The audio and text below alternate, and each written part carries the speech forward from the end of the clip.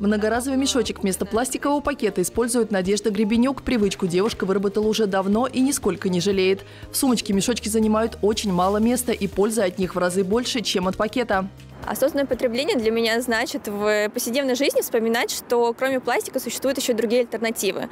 Альтернативы пакету пластиковому – это вот авоськи, многоразовые мешочки, многоразовые стаканы вместо пластикового и все в этом роде. Надежда, предприниматель, несколько лет назад вместе с мужем открыла кофейню в Новом Уренгое. Привычку к осознанному потреблению теперь старается сформировать и у своих посетителей. Делает небольшую скидку тем, кто приходит со своим многоразовым стаканом. Около трех лет назад я начала, в принципе, внедрять свои экологические привычки. И вот уже три года я пользуюсь многоразовыми стаканчиками. Пандемия подтолкнула Веронику завести еще одну экопривычку – разделять отходы. Пункт сбора долго искать не пришлось. Здравствуйте. Я Здравствуйте. хочу сдать вторсырье. Угу, отлично. Да, давайте показывайте, что у вас есть. От зубной щетки до пластиковых карт здесь принимают практически все вторичные отходы. Добровольческое объединение «Круговорот» работает в Тюмени уже 8 лет. Сначала ютились на 50 квадратных метрах, сейчас не хватает и 100. Каждый день сюда приносят десятки килограммов макулатуры и пластика.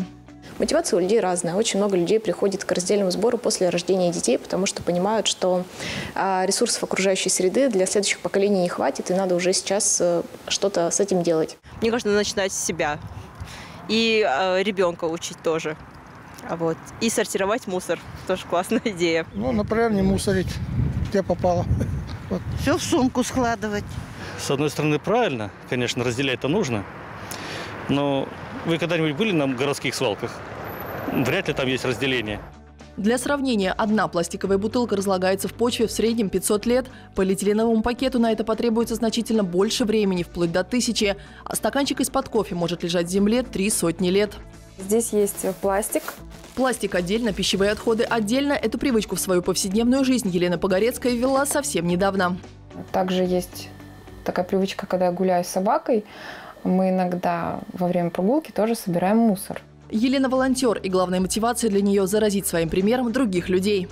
Текст прочитан, и этот листок, распечатанный с двух сторон, можно выбросить. В нашей редакции мы завели правило складывать использованную бумагу в один контейнер. Все, что накопится, мы сдаем в переработку.